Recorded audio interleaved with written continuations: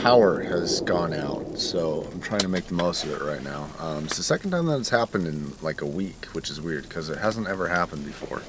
I'm gonna go uh, get some YouTube stuff done, answer some emails. Not a whole lot of fun stuff, but uh, we're gonna return home in a little bit and uh, see if the power's on. If it's still out, then uh, maybe we'll go somewhere and do some cool shit and hopefully take some sexy b-roll of this beautiful area around us. All right, so what we're gonna do is we're gonna drop off at home real quick, grab some camera equipment, and then we will be off to uh, go. And uh, there's like a little park that's next to me that's just absolutely beautiful. It's got this lake. I've always wanted to take like cinematic footage of it. It's a beautiful cloudy day. Look like a douche wearing glasses talking to a camera. Jesus. And driving. Probably shouldn't be doing this. But um, it's just, it's beautiful. I live in like the most beautiful area. It's amazing. Uh, well, you'll see.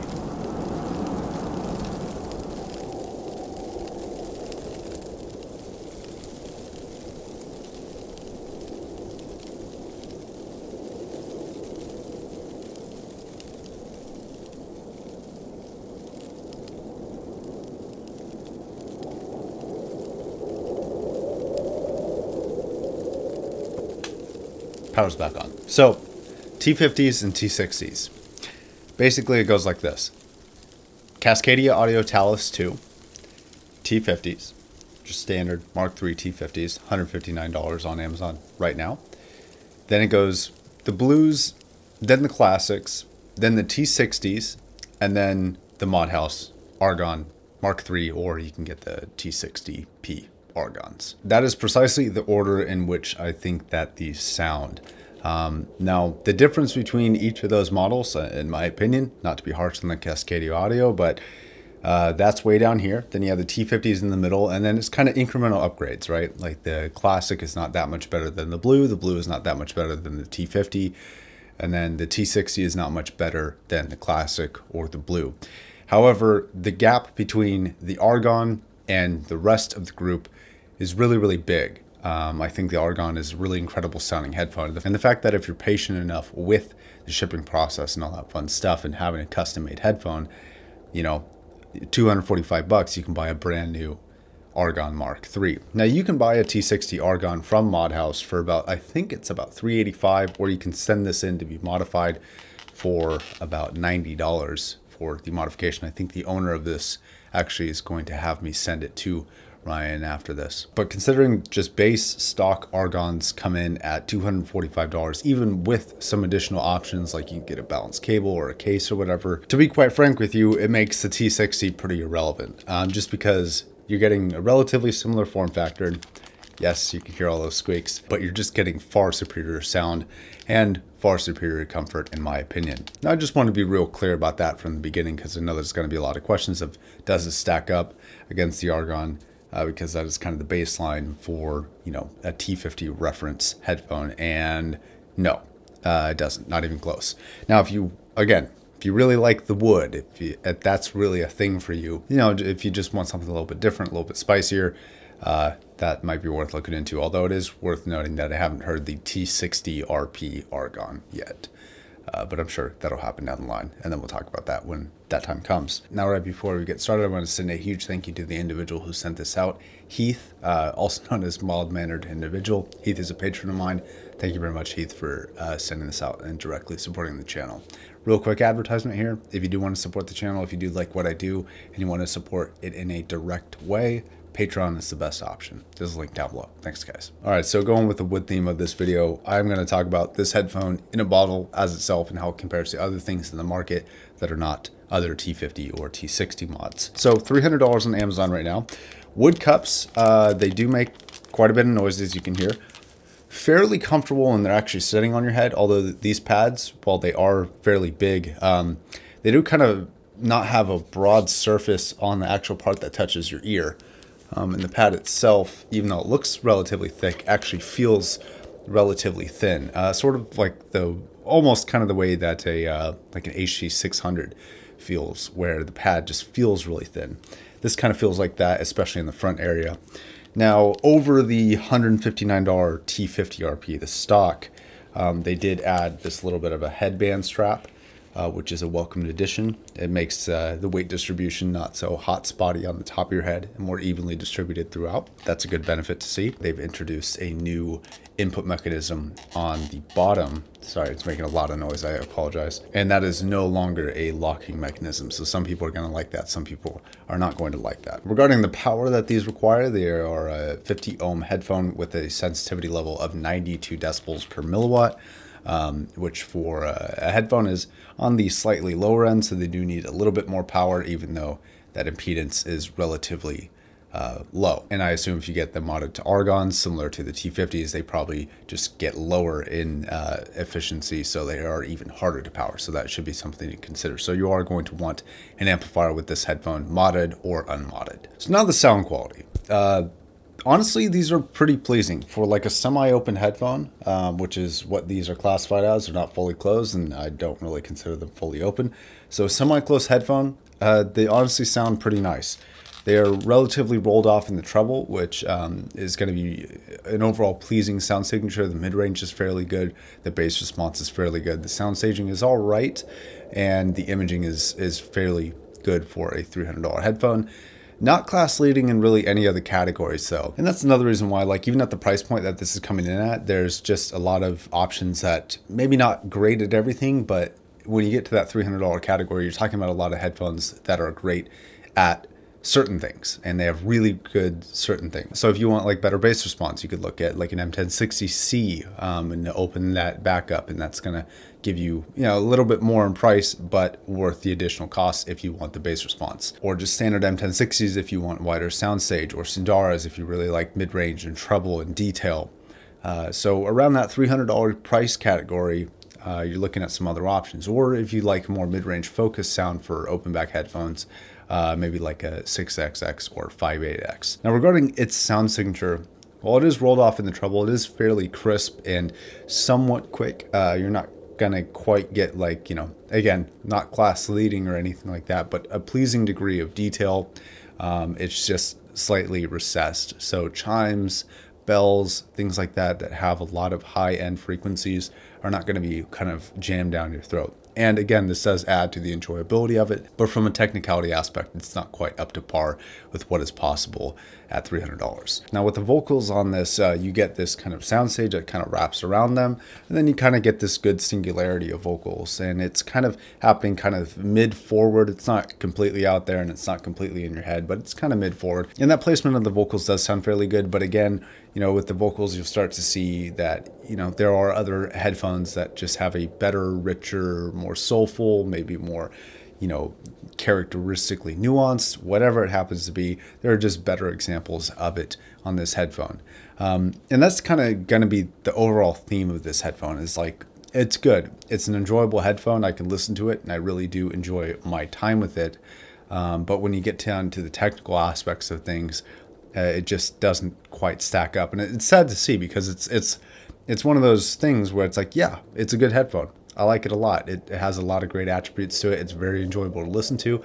It's not fatiguing at all. I consider it a definite step up from stock T50s, um, and even better than some of the other T50 mods that are not the Argons. But sadly, it's really the price point that gets it. Like if these were $200 instead of uh, 300 they would be a lot higher on my recommendations list, but because that $300 price tag, um, they just kind of get pushed down a little bit. So back to the sound signature, treble response is um, fairly good, fairly not necessarily even throughout, but it doesn't feel lacking. It does feel like it's a complete sound signature up there. It just doesn't have a lot of presence, a lot of impact. It doesn't have a lot of forwardness to the treble. So you treble heads out there are not really going to like this. Now, when talking about those vocals, that kind of singular characteristic is very nice, although people who like more broad and more forward vocals are definitely going to have some better options out there. And also for the flip side of that, where the people who like more soundstage further out vocals are going to like other headphones a little bit better. So this is kind of an in-between. So you might like that depending on what you do like.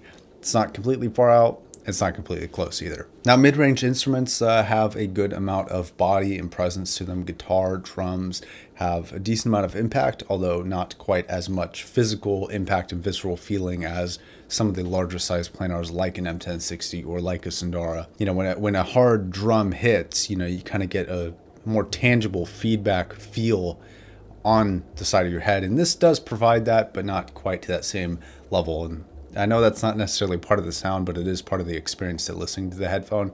And that's something that I personally really enjoy is that tangibility. That's one of the reasons why the Arya, granted $1,600, but that's one of the reasons why the Arya is so enjoyable to me is that impact that it provides. Now, bass response. Um, when I was going into this review, I hadn't heard the 60s before.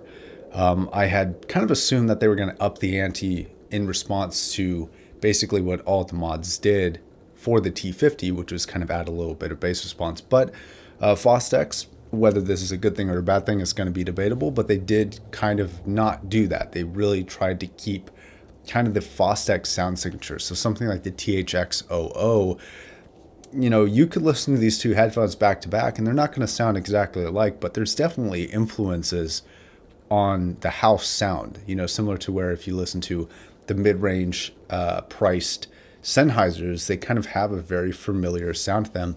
And this is the same story, although I think the X00 had uh, a little bit more forward treble than these do. This is definitely recessed. I think they took that uh, that kind of from some of the mods is a little bit of that recession in the treble response to make them a little bit more pleasing and enjoyable and give them that smoother sound. Um, now, whether this is a result of using wood or not, I don't know. Hopefully, this is a sound signature that they went for, though, because it seems intentional uh, because it does match the other Fostex that I've heard really, really well. Now, with that bass response, you don't get the most forward bass response. It's not the most impactful. It's not the deepest. Um, it does go fairly low, but again, and uh, I'm going to sidestep from trying not to bring up the T50 mods, uh, but I think here it really shines. The Argon Mark III has, if not the best, really close to the best bass response you can get for the price, in my opinion. It's large in amount, it's large in feeling, but it's not thick, it's not too bloated. Like it's got enough body and form to it to be extraordinarily pleasing, but not fatiguing. It's got this really weird property to it. Listening to the Argon Mark III, I said this in the, the review, and I'm still not sure how many people actually understand what I'm saying here, but it's the best way I can explain it. But it's like listening to the night sky where you have this overall dark picture and the bright spots or the treble or the vocals in this circumstance are popping through, but they're not pop- popping through in a muffled way. It's not like you're looking at a canvas with lights behind it. It's like you're looking at the night sky. It's incredibly clear, and you have all these spots popping through. And that's what listening to the Argon is like. Uh, this is a less dark picture. You know, it's slightly hazier in uh, you know those those spots. It's kind of like listening to a, a cloudy day almost, where you know some spots are really clear, some spots are not so clear and a little bit muffled, and you may not be able to really reveal what is behind the curtain, so to speak. And so, you know, if you're coming from a bass perspective, um, you know, for $245, the Argons just slap this thing in the face. They slap it all around. They drag it out of the street and they beat it into the dirt, basically. But fairly enough, not everybody's into this. So, you know, if you're not including the Argon into this argument, or you're not a bass head, so you're not including the 1060C or even the EMU or anything like that, this does end up having a pleasing amount of bass response even though it is not the most in majority. So, you know, if you get this, would you be unsatisfied with it? No. Uh, but I think that if you do crave bass, you are definitely going to want to look at at least some additional pads, if not full on modifying it. So imaging and soundstage are another category with this headphone is good, uh, but not great. And part of this review is a little bit of a failure on my part of not reviewing a lot of semi-open headphones, so it's kind of hard to compare but the ones I have heard are primarily all T50s. So I'm going to bring that up a little bit here just because it's relevant again. Sorry. But when you're comparing Soundstage to fully open back headphones, it just doesn't compete. Um, you know, just at the $300 price tag, there are just a number of headphones that beat it out by quite a large margin, even down to like things like KSC 75s, which are 15 or 20 bucks. But when you start introducing the mods, specifically like the classic and the Argon, the soundstage, just it's not really comparable. So I really feel like for the $300 price tag that they were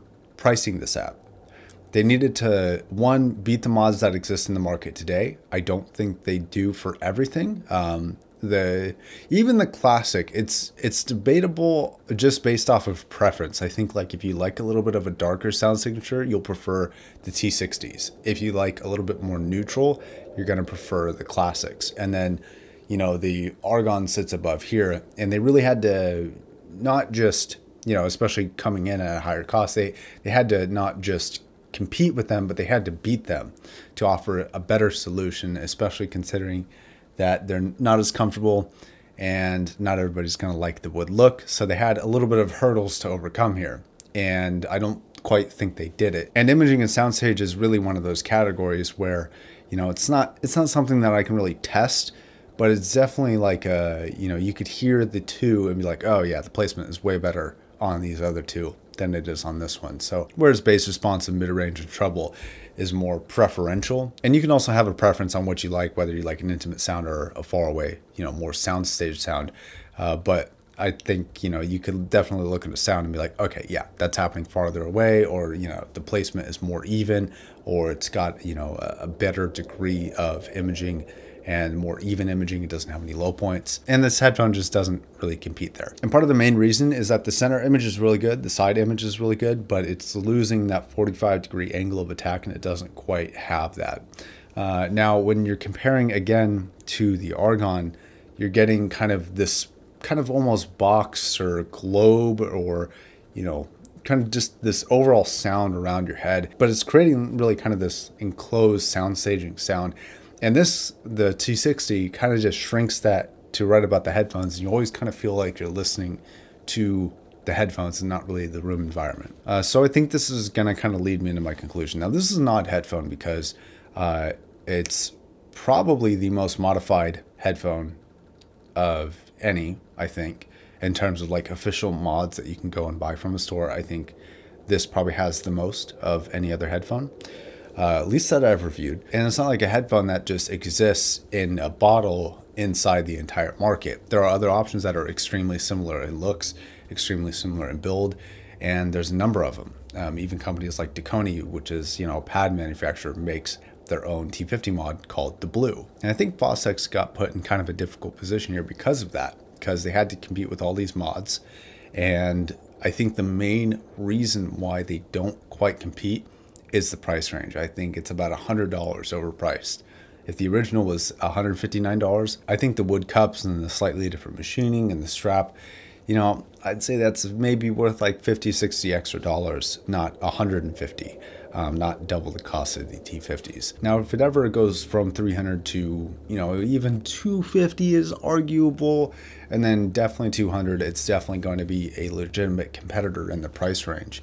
Um, and it is very, very good. It's very enjoyable. I really, again, I want to emphasize this, even though I'm saying a lot of things like this is better, this is better, this is better.